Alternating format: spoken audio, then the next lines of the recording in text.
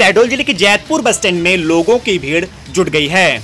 तैयारी से देखकर यह पता चल रहा है कि लंबे समय तक यह जारी रहेगा और तब तक यह जारी रह सकता है जब तक कि इनकी समस्याओं का समाधान ना किया जाए। आमरण अनशन में बैठे समस्त क्षेत्रवासियों एवं जनप्रतिनिधियों ने जैतपुर क्षेत्र के अस्तित्व को बचाने हेतु यह मुहिम छेड़ी है।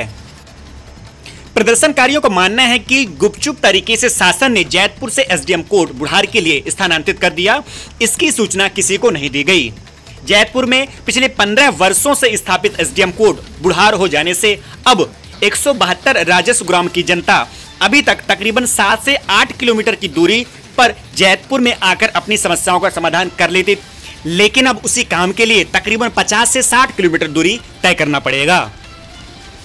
जैतपुर से हमारे सहयोगी आशीष त्रिपाठी की ये रिपोर्ट देखिए। अपने ग्राम पंचायत जैतपुर बस स्टैंड में एक धरना प्रदर्शन कर रहे हैं, जिसमें हमारे जैतपुर पूरे क्षेत्र के साथ प्रशासनिक और राजनीतिक षडयंत्र रचकर एस डी एम कार्यालय को जैतपुर से हटा करके बुढ़ार कर दिया गया है। इसलिए यहाँ पर हम अनिश्चितकालीन का हड़ताल आज गरीब है ये गरीब क्षेत्र है जो कि आदिवासी क्षेत्र है जनजाति समाज यहाँ अधिकतर है। इसलिए अंत्योदय अंत्योदय का अर्थ है कि अंतिम छोर में बसे हुए लोगों का उदय होना चाहिए विकास होना चाहिए। तो कैसे होगा?